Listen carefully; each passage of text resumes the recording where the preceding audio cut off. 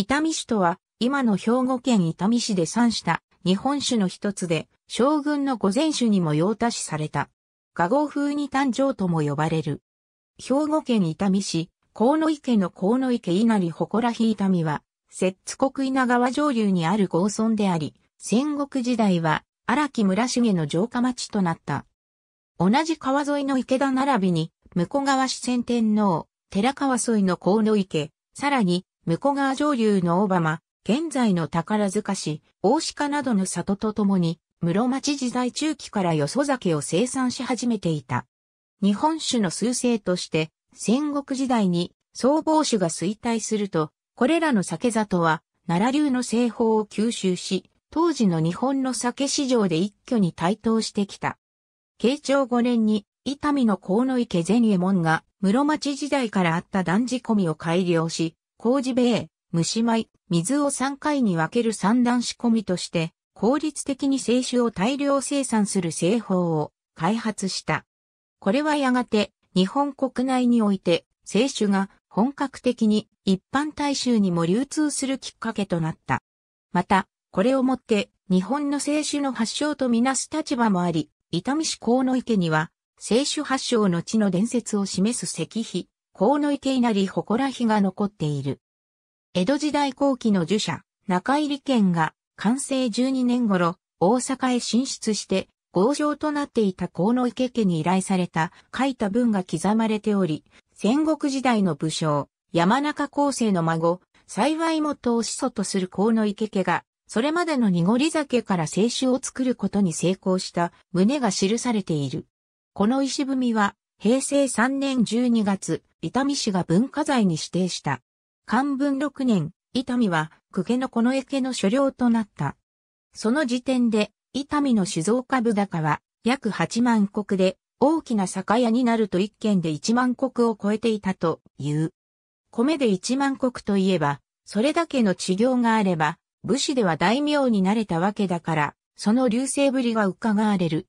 伊丹で作られた酒は、船で稲川を降り、大阪湾に出て、日垣海鮮や孫海鮮で江戸へ出荷されたわけだが、地元で消費されるよりも圧倒的に江戸に出荷する率が高かった。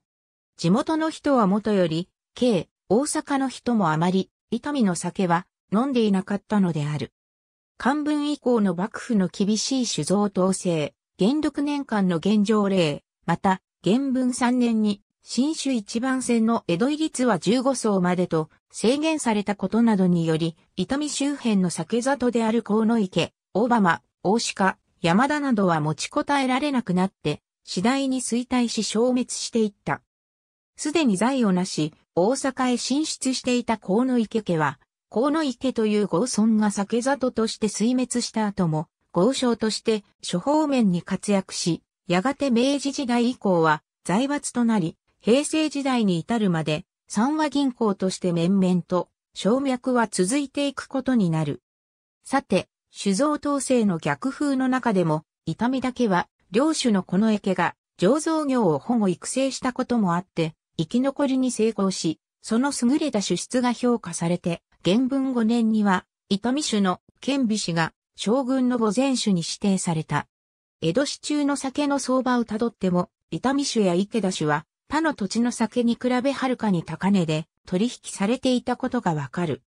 ところが皮肉なことに、伊丹種にとって真の逆風は幕府の酒造統制ではなく、もっと足元にあったことが後年になってわかる。同じ節船十二教の中で、室町時代からよそ酒のライバルであった西宮や、この業界に新規参入してきたなどに、伊丹種は質、量ともにどんどん追い上げられていくようになった。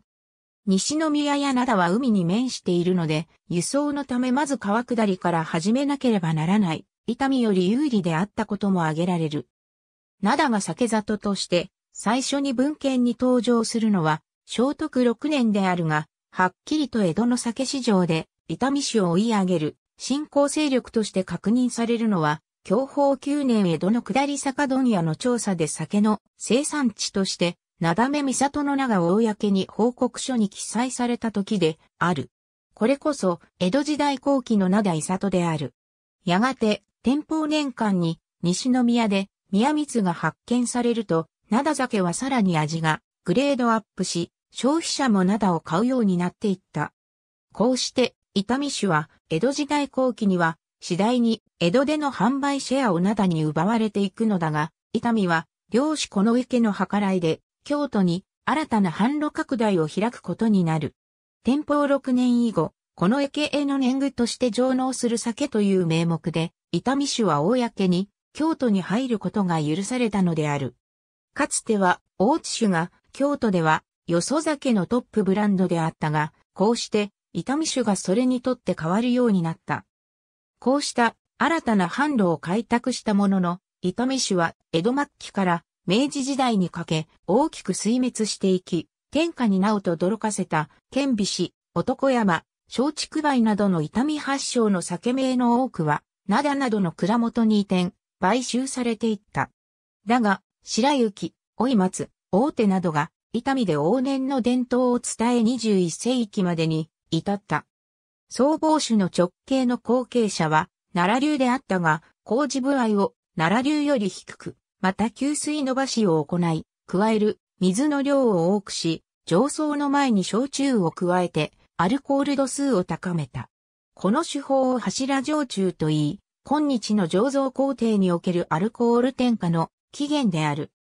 柱焼酎を行うことで、それ以前のこってりとしたモロ白とは異なるすっきりとした辛口の酒ができ、この味は後に、灘の生一本などに引き継がれる男酒の原型となった。加えた水の量を使った米の総量で割ったものを吸水部合という。江戸時代初期において、伊丹酒の吸水部合は0.58で、なんともろ白や奈良流と変わらない。漢文7年の痛みの寒作りにおいては0.6となっている。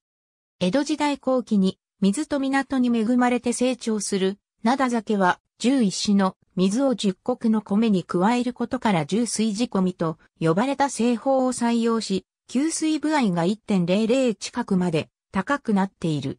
これは当時から伸びの効く酒と評価された。元禄16年の記録によれば、以下のような製造データがある。なんともろ白の頃よりも十数倍も大量生産になっていることがわかる。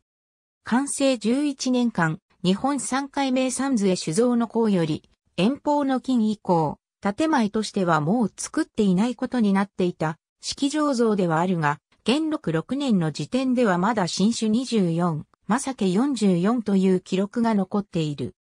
しかし、江戸の消費者の好みが次第に、官主に馴染んできたこと、節戦十二教の間でも、主出の追求、売り込み競争が激化したことなどが原因で、痛みでも次第にサム作りへ一本化されていった。ありがとうございます。